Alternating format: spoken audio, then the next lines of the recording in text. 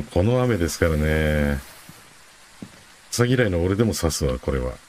朝嫌いなんですか？